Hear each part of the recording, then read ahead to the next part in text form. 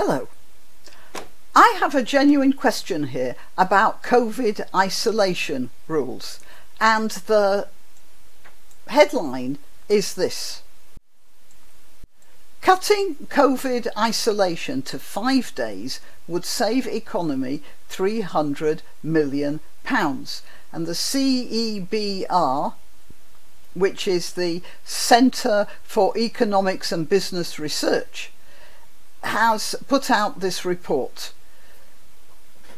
And, and, and this is what interests me. Well, first I'll read what the CEBR says. Um, it, cutting it from uh, the isolation from seven days to five would save the economy £300 million in lost output in January, economists have estimated, as businesses are crippled by hundreds of thousands of absent workers. Current rules could cost the economy almost £1 billion next month as COVID infections soar, according to the Centre for Economics and Business Research, equal to a 0.5% hit to monthly GDP.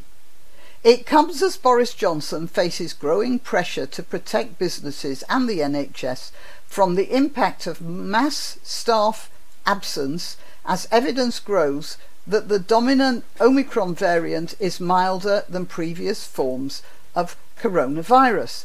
The CEBR scenario assumes that daily cases average 110,000 in the first week of January and then decline by 20% each subsequent week. And here's a nice graph. Graphs are so nice, aren't they? You look at those graphs and it looks like a kitten's been playing with wool and you feel like you know some answers.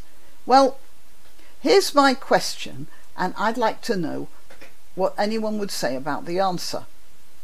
If COVID is infectious, as we all know it is, and if the infection requires a seven day self isolation period, then what difference does it make to the economy if you cut that to five days?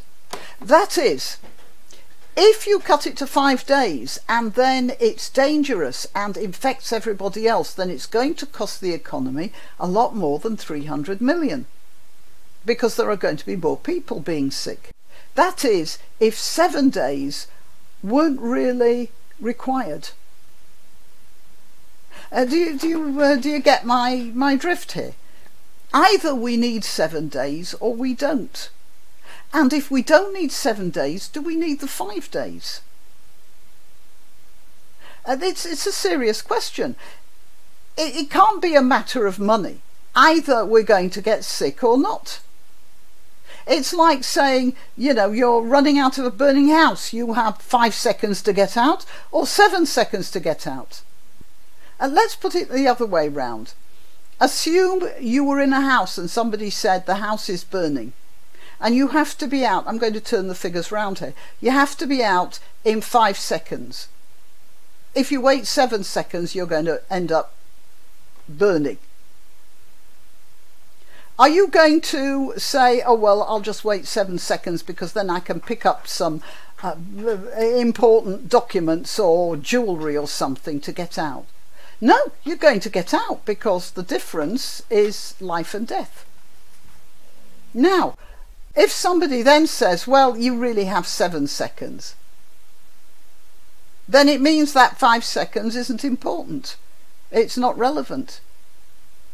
And then you, you have to say, well, look, if this person is lying about the five or the seven seconds, then is this person also lying about the fire? Are they telling me the house is on fire because they want to get at stuff while I'm out? You know, all that sort of thing. Anyway, it is a question. If the um, the CEBR tells us that it's important to cut it from seven to five days for self isolation, then obviously they don't think that there's a problem there. Right, well, you can tell me what you think. Why not treat yourself or a favoured relative or friend to these magnificent examples of merch? The mugs and t-shirts come in the Granniopteryx design or Granbow with a firearm or the more deadly knitting needles.